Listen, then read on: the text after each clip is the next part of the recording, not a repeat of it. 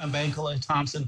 Uh, Monday, Dr. Martin Luther King Jr. Day. Uh, we recognize, uh, we pause and salute uh, the, the, the, the, the premier nation's premier peace officer, uh, Nobel Peace Prize winner as well, uh, Dr. King, one of the most important civil rights leaders of the last century in terms of the scope and the sweep of his life, the things that he did, the speeches he gave, and how he paid the ultimate price. Um, uh, took the, an assassin's bullet and died. But Dr. King gave so many speeches throughout his life. Uh, all his speeches have been consequential. Uh, one of my favorite was the letter from the Birmingham jail, uh, which he handed perhaps the most important challenge to the clergy, not just black. Uh, Attorney Bill Noakes, my guest here, not just black, but uh, clergy of all races. But every speech that Dr. King gave was consequential, important in itself. And um, we're looking now at a speech he gave at Stanford University titled The Other America.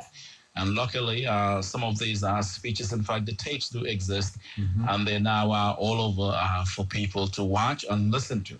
And we're bringing you excerpts of that, and we're analyzing Dr. King's speech, The Other America, in the context of the other Detroit. Uh, Dr. King, uh, this place has been no stranger to the civil rights movement, the March on Woodward here uh, bill, uh, the I Have a Dream speech, uh, the draft given here as well. I think Detroit has been front and center of the American civil rights movement.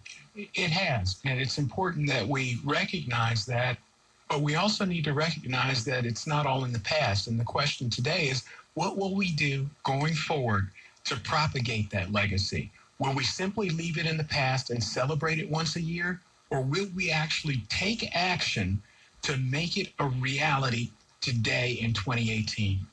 Uh, no question. Uh, 313-778-7600, 313-778-7600 is the number to call and chime in on this conversation. We are also live on social media as well on Facebook, where you can join the conversation if you have a question or comment. Well, let's go back to that uh, speech in itself. Take a listen to uh, the uh, peace officer